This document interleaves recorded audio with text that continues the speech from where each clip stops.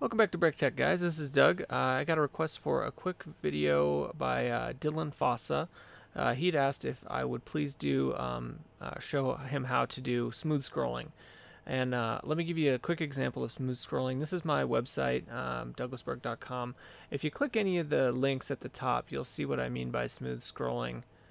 It uh, it gently scrolls the page using like an ease in out down to whatever section you've selected for the link to target. So there it is, going down to portfolio, and one more time, taking you down to the services. So, uh, so that's what we're going to do tonight. Give me one moment. Uh, I think we'll just go ahead and do it on the Materialize project because I think that's the project he was working through. That's where he left his comment. So let's go ahead and do that. Uh, so the smooth scrolling implementation that I used, uh, I found at csstricks.com. Uh, they have a couple different ways to do it here. Uh, this one using native JavaScript and the second one using jQuery. Uh, I wouldn't necessarily put jQuery on a site just to use the smooth scrolling. There's better ways to do it as you as you can see here, and and I'll leave a link to this article in the description. Um, but what we're going to do is we're going to incorporate this code into our project, and all this does is jQuery takes the uh, has a function. We, we write a function, and we want to grab anytime there's a click on a uh, on an anchor tag that goes to um, uh, you know a hashed out link on our site, meaning that it goes to an ID. Uh, we want to go ahead and set the target to that location, and then we want to move the the scroll um, down to that position. So so that's what we're we're going to be doing here. So I'm going to go ahead and copy this, and we'll go ahead and open up Atom. Uh, we'll want to go into our JavaScript. We'll go to our scripts that's what we currently have in here. Uh, I'm just going to paste this in so we can kind of see what we've got. Fix the tabs just a bit. Um, so what we want to do is go ahead and save that off. And now we need to check in our HTML to make sure that we actually have targets for those links. So those links are up here, and we didn't and when we made this site, we did not include targets. So we need to go down to the services section. We need to make sure that there's an ID of services on this section. And we can actually, we can just add it to the top here.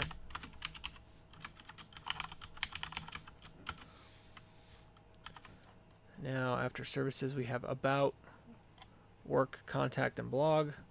Obviously, the blog's on a different site, so that one won't uh, won't smooth scroll. That one would be an external link, so uh, we will not be modifying that one. All right, so we got our call to action. Here's our about section, so we'll just add an ID of about there.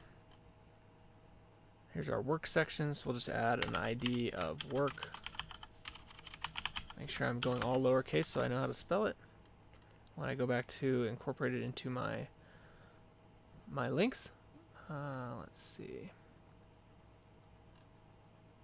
And contact.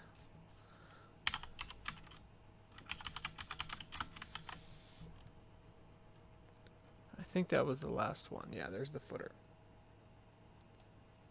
So let's go back up to the top. Let's find those links and let's go ahead and give them targets. So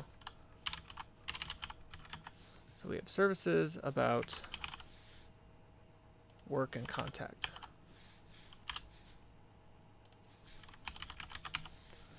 I'm not sure how it would look if we did it for the slide out mobile nav. I don't know that smooth scrolling makes a lot of sense in that case. Um, we can test it, I suppose. So I'll go ahead and add that here as well. So we'll save that off. Let's go see what happens to the site. Alright, and that is all there is to it. Now we have smooth scrolling incorporated onto our site. So again, all it does is we use jQuery, we write a function, we say jQuery anytime someone clicks uh, an anchor tag that leads to uh, an href that is uh, that starts with a hash, meaning that it goes to an ID, uh, we want to run this click function, and if um, if we're not already at that path name, then we want to go ahead and replace it with the new path name, and then we'll go ahead and um, move down to the target, the new target.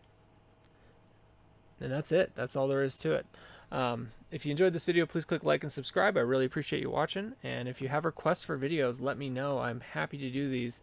Um, I, I, often run out of ideas for, for short little videos like this that would really help people. So please, if you have a, a request for a video, go ahead and leave it in the uh, in the description or I'm sorry, in the comments down below.